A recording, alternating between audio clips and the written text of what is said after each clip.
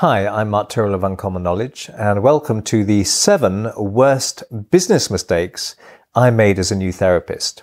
What you can learn from the silly things I did.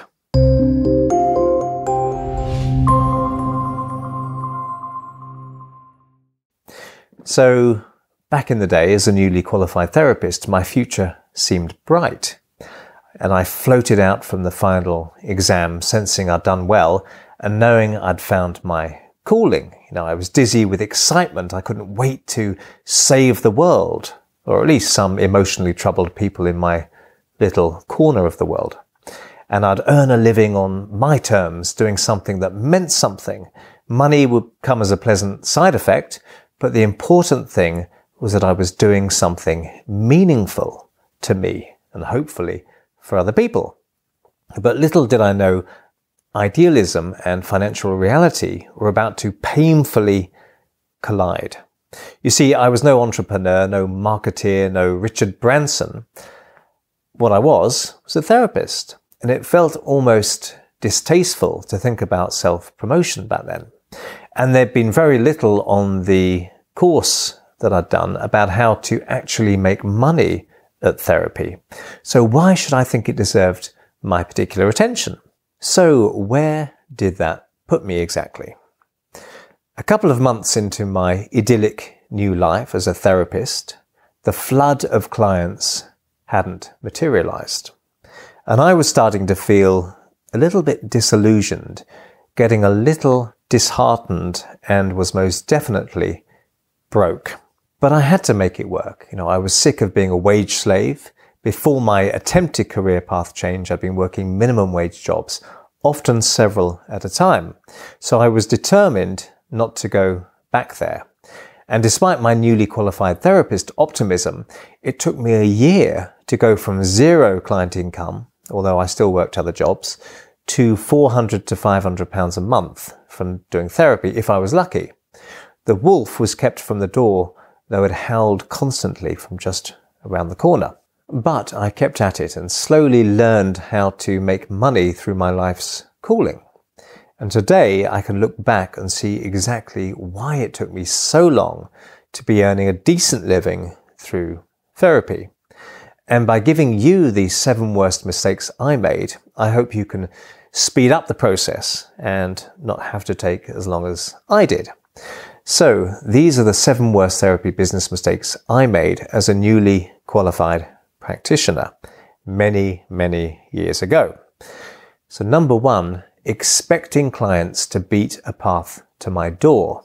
And although it sounds ridiculous when you say it out loud, I'd subconsciously assumed clients would just somehow um, sense my newly earned certificate and somehow be drawn to my therapy room as though the world and the universe would just make it happen.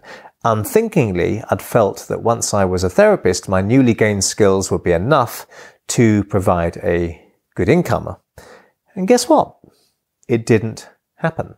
It took me a while to wrestle down my own magical thinking and overcome my passive sitting around and go get some clients for myself. Okay. So obvious in retrospect learning point is this, that you can't be a therapist if no one knows that you are therapist. But even after clients did begin to trickle in, I found my attitude still got in the way. If I were starting out now, I wouldn't be, number two, settling for fantasy over action. So when I first started, I would self-indulgently, you know, imagine, fantasize how successful I'd be as a therapist, how my uh, diary would fill to the brim with eager clients every week and how it would be fantastic. You know, life would be wonderful, sunshiny and eternally rewarding and it would all be fabulous. And I could see it also clearly in my head. Now, sure, we all need some dream destinations to help motivate us, but too much self-indulgent fantasy can start to replace action. See reference one on the written article. So obvious in retrospect learning point. Spend a little time fantasizing and a lot of time planning actionable steps. As it is, reality has now far outperformed my old fantasies, But back then, I had no way of knowing that was going to happen. Paradoxically, it was only when I stopped fantasizing that reality had a chance to outperform fantasy. Also, if I had my time again, I wouldn't be, number three, feeling pathetically grateful to be paid by my clients. And again, this sounds ridiculous, but in a way, I couldn't believe people would actually pay me for therapy. I'd feel hesitant to ask for my fee. It took me some time to see that you have to charge enough for people to trust you. That can actually be part of the therapeutic process. Undercharging can actually break rapport. You know, they might be left with the feeling, you know, what's wrong with this guy and his therapy? Why is he so cheap? Sort of bargain basement. Obvious in retrospect learning point here is we value what we pay for. So undercharging can damage the motivation of a client. The less they've invested in therapy financially, the less they might invest in it emotionally. Not good when after all, you know, your therapy may indirectly or directly save lives. Number four, not pursuing ideas which made money. Early on, I ran a workshop on hypnosis for the general public, and it worked, and they loved it, even though I was terrified doing it. And for the first time, I made what seemed to me a lot of money quickly, and it was just incredible. Early on, I sold some hypnosis cassettes through a magazine. It was a long time ago, this was cassettes. And early on, I advertised a one day phobia seminar and it was jam packed. Did I pursue these things? Not really. I could have trebled my income pretty fast around that time. Instead, I prevaricated or felt like it had been a, a one off fluke. So something had worked and I hadn't really followed it up. So the obvious in retrospect learning point here is if something works, do more of it. If the earth gives, then that's the spot you need to dig and you need to keep digging. If something works, go full out. But on the other hand, number five, not saying no to save time and money. So just as I didn't properly say yes to opportunities, I also didn't say no to dead ends. So because of that, I lost time and money. One workshop I ran um, only had four takers because I hadn't given enough lead time after putting leaflets in cafes.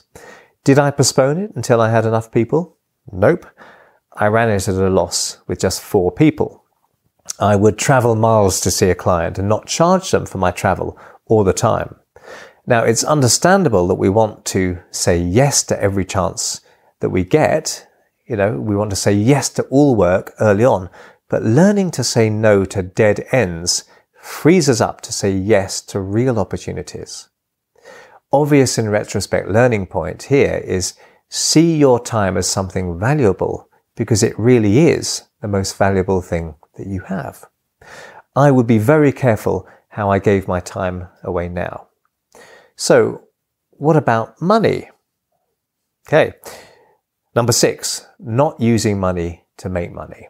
So back then, if I made £500 in a weekend from a workshop, I felt it was my money. I was overjoyed and I felt it was all my money to be spent on non-business necessities, which is understandable, I guess, because I was broke. But my progress would have been much quicker if I'd used that money to print more leaflets or branch out into other towns and run workshops in other places. You see, it took me a long time to start seeing my business as something separate from me, a living entity in itself that I had to service nurture, and grow. Eventually, my business partner, Roger, and I saved £8,000 from our workshops. But it still felt weird thinking of it as the business's money rather than our money. So the obvious in retrospect learning point is don't think of money you make as your money, or at least not all of it. Now we have a seven figure business, all from that initial £8,000 and we never borrowed any money from anywhere. But I had to make the mind shift from my money to the business money. This last one is perhaps the most important of all. So, number seven, trying to do it all myself. Any real success is shared success. I felt I personally had to be good at everything to succeed. I was always confident in my therapy and made myself become confident in my public speaking and writing. But I was never going to be the world's most technical guy or have the best business brain or strategic brain in that way. So the obvious in retrospect learning point here is surround yourself with people who are better than you at the stuff that will take your business forward and do that quickly. I thought I was saving money by not getting other people on board quickly enough. So, you know, now we have a team of people who are much better than I will ever be at a whole raft of things that help our business. They are much, much you know, better than me in all kinds of ways. And I don't have to be good at the things that they're good at because we're all working and we all have different strengths. These days, with websites like Elance that uh, can provide workers from anywhere for all budgets, there's even less excuse not to provide rocket fuel for your business in the form of delegated talent. If I were starting out now, I would really go for it and not dawdle as I did on the edges of professional fulfillment and success. And of course, the past is gone, but I hope some of these tips will help you reach your goals a lot faster than I met mine. So good luck. So I hope you found that useful. And if you did, please hit like and subscribe. And if you'd want to uh, hear when my next video is published, hit the notification bell below this video. I'm Mark Tyrrell of Uncommon Knowledge, and if you'd like to subscribe to my email newsletter, you can find it over at unk.com slash blog. That's unk.com slash blog. And thanks for watching.